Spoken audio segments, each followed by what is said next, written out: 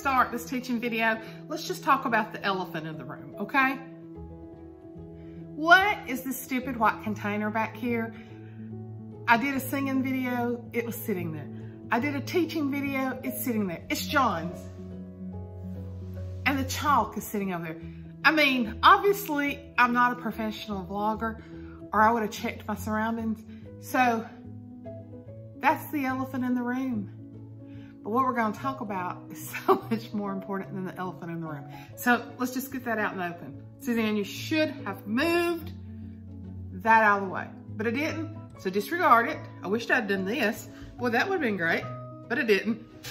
So disregard that big chunky white thing that I'm fixing to move and listen to this fantastic lesson that the Lord gave me today for you. Bye. Good morning. This is Suzanne Light.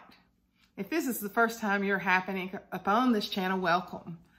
I'm um, a child of God that lives in Alabama, that loves the Lord, loves to vlog with my family, loves to journal, love to prayer journal, love to memory journal, love to study the Word of God, love to teach the Word of God, retired after many, many, many years of working full time. And I often tell people that YouTubing is my retirement gig. And it is in a sense, but it's also my God gig, if that makes sense. I'm not trained in the Bible. I don't have a degree. I do have a master's degree in educational leadership. And, but I am privileged to teach the Word of God. I may make a mistake here and there. Uh, I may say something wrong. And if I do, you can correct me if you know for a fact that I said it wrong. if not, just write me a private message and let me know so I won't do it again. I love the Lord. I just recorded a song. I don't know if it'll be on before or after this. I'll have the same shirt on about speaking of how marvelous that God's love is and that I stand amazed in the love that he has for me. I want to talk to you just a little bit, and that's always a joke when I say a little bit. But I want to talk to you a little bit about keeping your heart in it. I'm speaking to you Christians. I'm speaking to you that have received the Lord. Now, if you have not received the Lord and you're listening to this, it will be the best decision of your life. It is not an easy, rosy path to you know, blooms and honeysuckles and roses and good times. It is a path that is often very hard to walk, but very promising. And the thing is, is we have a father, whether you have an earthly father or if he's gone on or if you never knew him, you have a father. And a father that created you in his image. But today I'm talking to those of us who are walking the walk already about how crucial it is to keep our heart in it. What happens when you go, y'all seen my chaotic basement, some of you have. And what happens when you go and buy tons and tons and tons of arts and crafts supplies and you're real gung-ho and you're so excited about working on these crafts and you do it for a while and then you lose heart. What happens? They get pushed aside. They get stuck in a drawer. They become clutter in your basement. They get dust on them.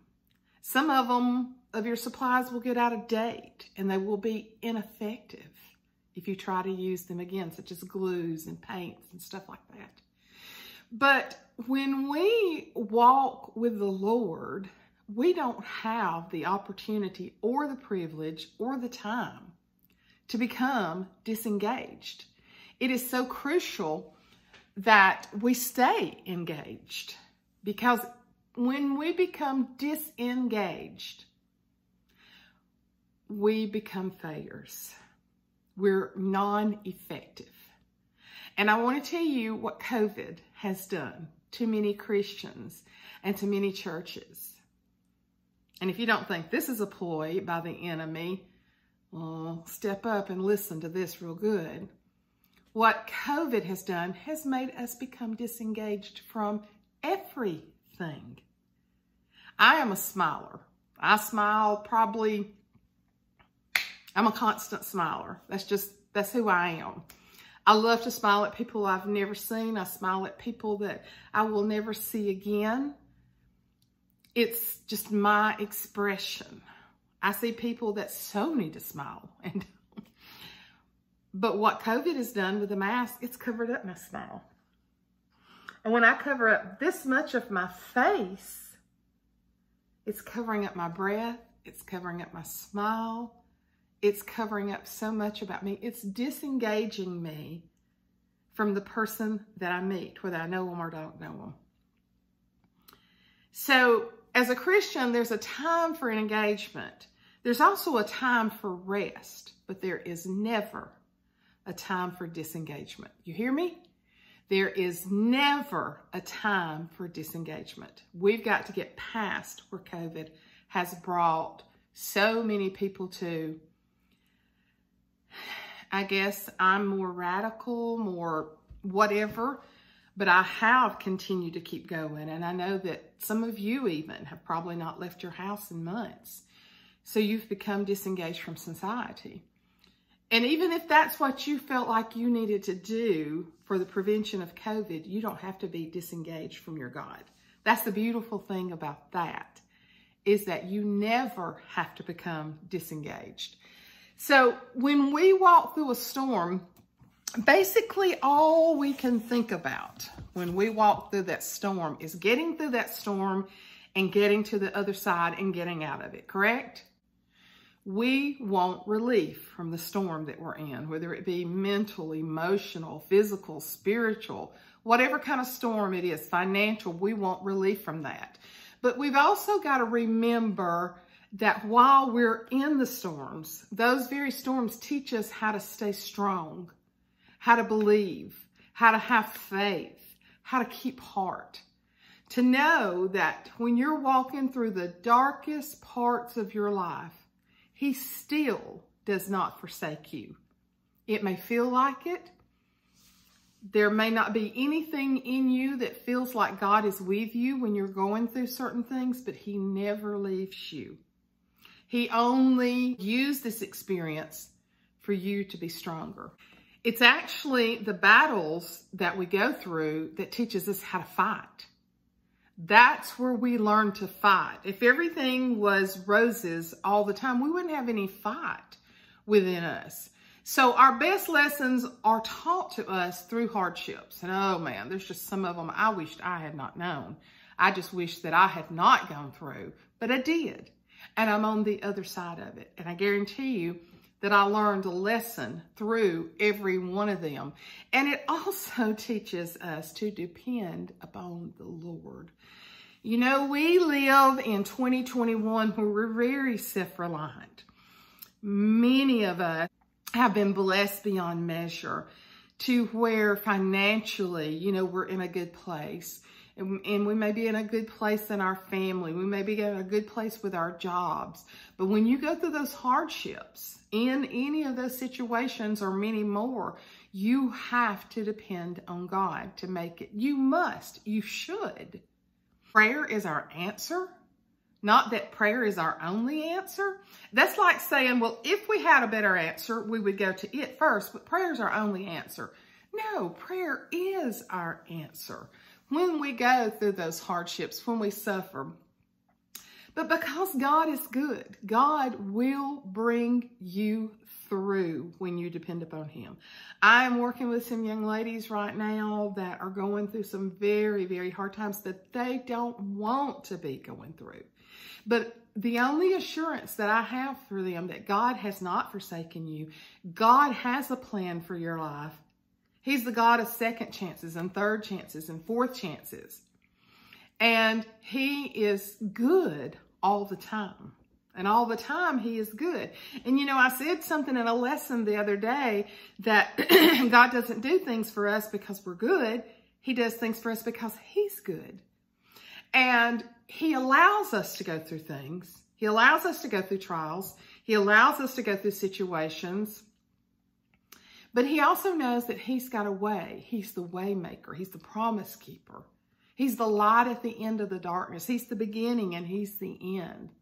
He put, he gives us, uh, he gives us uh, dancing for our mourning. He's always with us. He never forsakes us. He never leaves us. Sometimes when you've been through a really tough battle and you fought really hard, you come out of that battle tired. And when you're tired, spiritually, physically, emotionally, mentally, you need to take a time of rest. I had some outpatient surgery done last week and I've had to force myself to slow down, even though I'm getting ready to take mother to the doctor today. But still, I took a week. I took a whole week. They told me to, and I took one. of slowing down and giving my body rest. And I have rested in between, but there are certain things that I have to do. But you find yourself vulnerable after you've been through a battle. It's very important when you have poured yourself into a battle or pouring yourself in a battle that you also give your time, yourself time to rest and to replenish, not to disengage. So there's engagement and then there's rest, but there is never disengagement. There are times when we've gone through things you just want to say, I'm through. I'm through. I've done that before. I'm through. I'm through. I'm tired. I'm through. But no, just rest. Rest in Him. Rest in His Word. Rest in prayer. But don't disengage. And if we're not careful, that can be the very time that we tend to loosen our grip on what we believe or the fight or the battle that we've been through, and we tend to pull back and disengage. That's what I see has happened in the church. I see that people have been at home, they've been watching online, and then even when they get back to church, they feel disengaged. God doesn't want us to be disengaged. Whether you're at home watching it online or you're in the service, he wants you to be engaged, worshiping, praising him. There is strength for you. We're commanded to do that for him. We're commanded to keep heart and say, well, Suzanne, you don't understand. It's so hard. Oh, yes, I do. I could sit here and tell you my life story and you'd almost be depressed. I've been in extreme times. I have disengaged and sometimes it's been very hard for me to come back. And that's the reason when I read this devotional, I thought, oh Lord, don't let us disengage, especially right now when the battle is so strong, when the nation is at unrest, when our churches are struggling. I mean, we're, we're pulling back together, but we've struggled this past year because of COVID your own life may have been so greatly affected by COVID. You may have lost precious loved ones. You, you yourself may have had it and you're trying to regain your strength. Your strength comes from the Lord. Remember this, that in the good times and the bad, in the good times and the bad, our strength comes from the Lord on a daily basis. We're actually nothing without him because we are just these mortal bodies. It is our spiritual person inside that gives us the strength, that gives us, you know, the resolve to get up every day and to go and to do and to make every day count.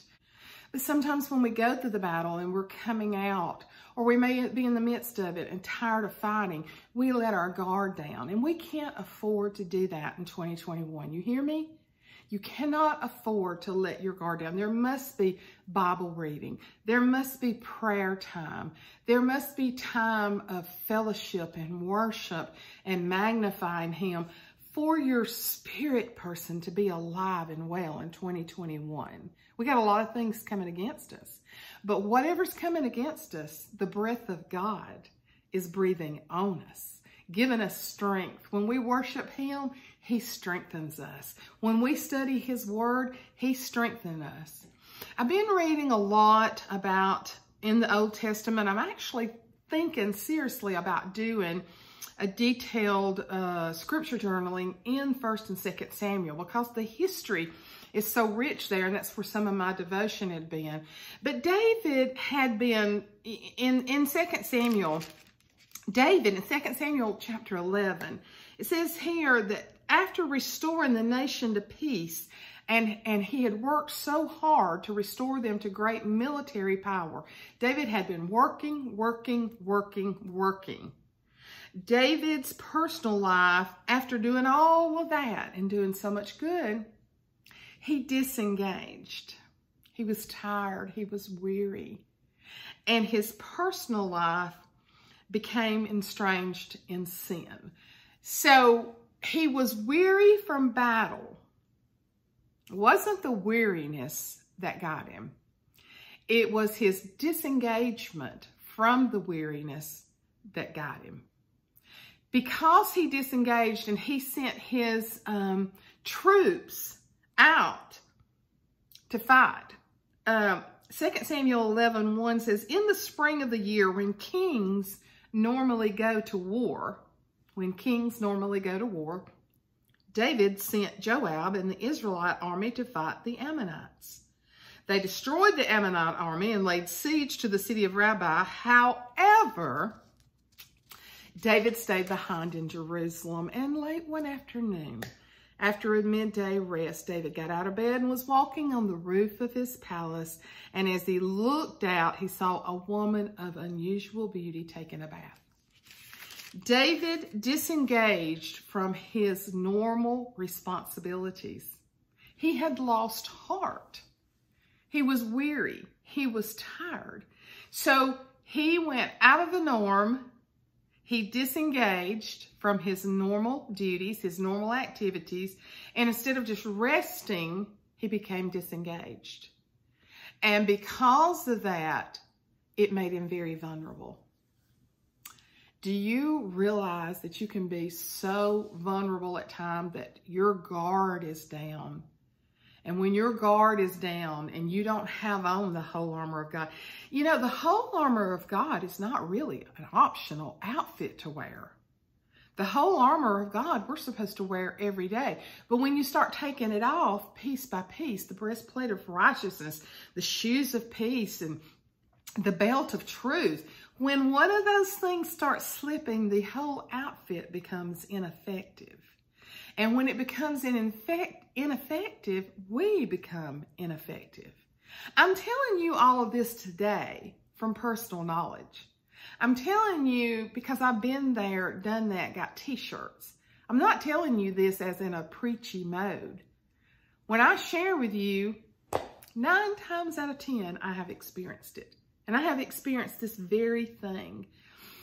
When I went through my divorce, because of the prayers that I was praying and the battles that, and I, my battle had been so long and I was so tired. And I remember saying, God, I'm vulnerable. I am so vulnerable. I was starving for attention. I was starving for real love. But God he really spoke to me and made me keep my guard up. Did I do everything perfect? Absolutely not. But there was always in the back of my mind, don't let God down and don't let your baby girl down. Don't let God down and don't let your baby girl down. And because of that, and I just shared with a friend this week that's gone through great loss, and I said, be careful of vulnerability.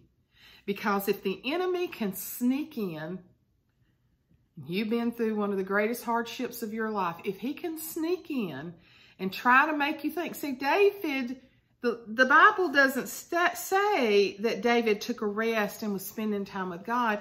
It said he just totally disengaged from his army. And when he disengaged, the enemy put lust, lust of the flesh, right there in front of him and he sinned and he sinned and he sinned. And this was a man, the Bible says, after God's own heart. This is a great man, a great king.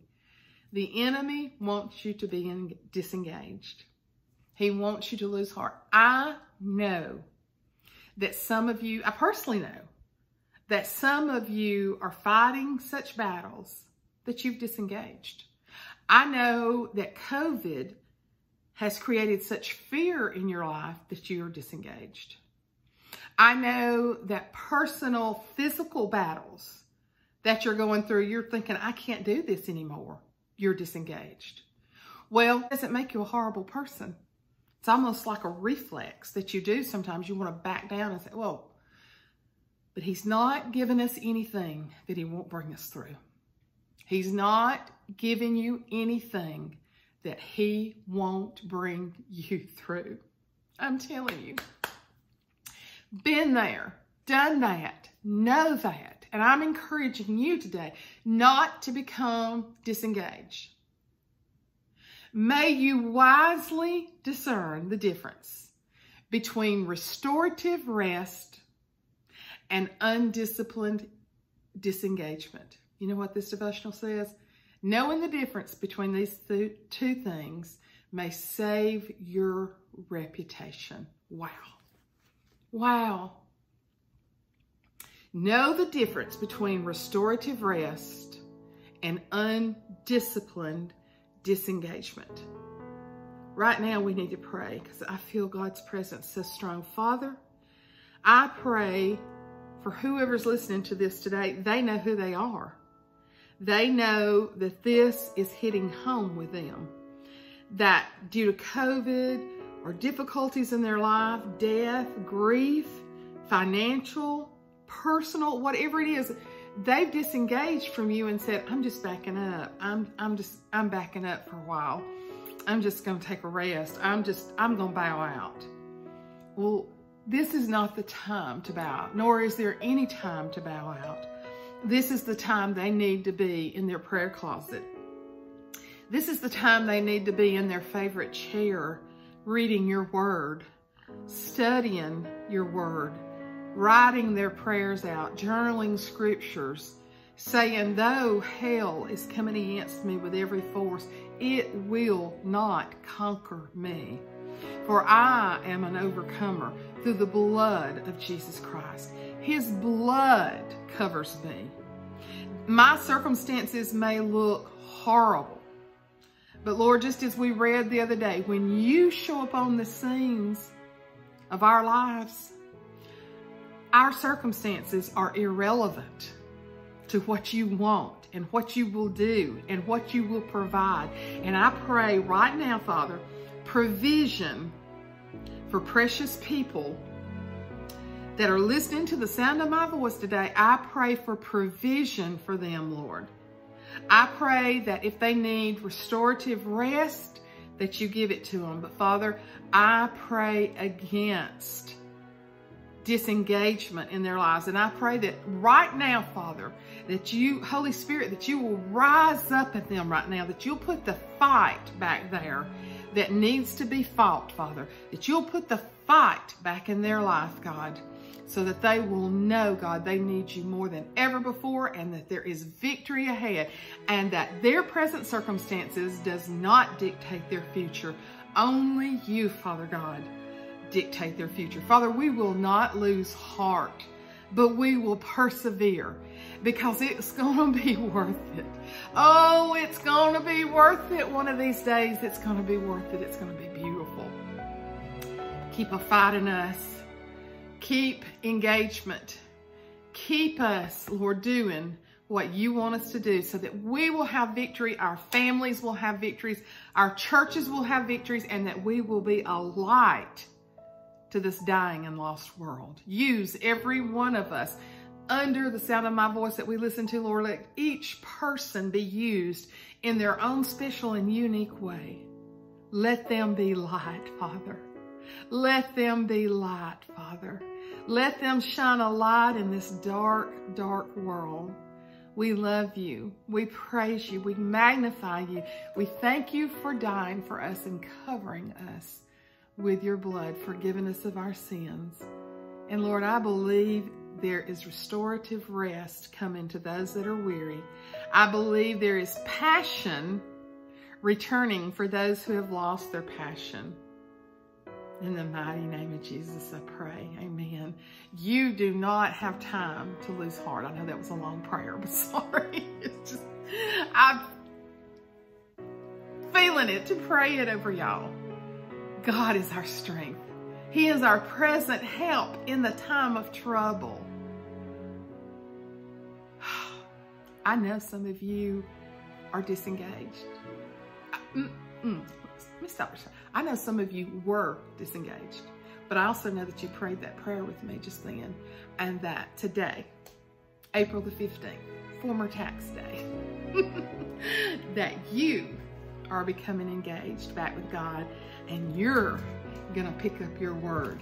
You're to pick up your study Bibles or your, your devotionals. You're to pick up your prayer journals. You're to pick up your iPad. Whatever it is that you're drawing from strength from God, you do it in the mighty name of Jesus. Because this all makes sense with a verse that I use at the end, John 10, 10 says, that the enemy comes to steal, kill, and destroy. Heard this morning about family and gospel music, life being destroyed. Three, two, one. Because the verse that I end with makes sense with all this, John 10, 10. The enemy comes to steal, kill, and destroy, but God said, I've come that you can have life and you can have it more abundantly. And I pray abundant life over every one of you that listens to this video today, this week, this month. In the mighty name of Jesus, I love you.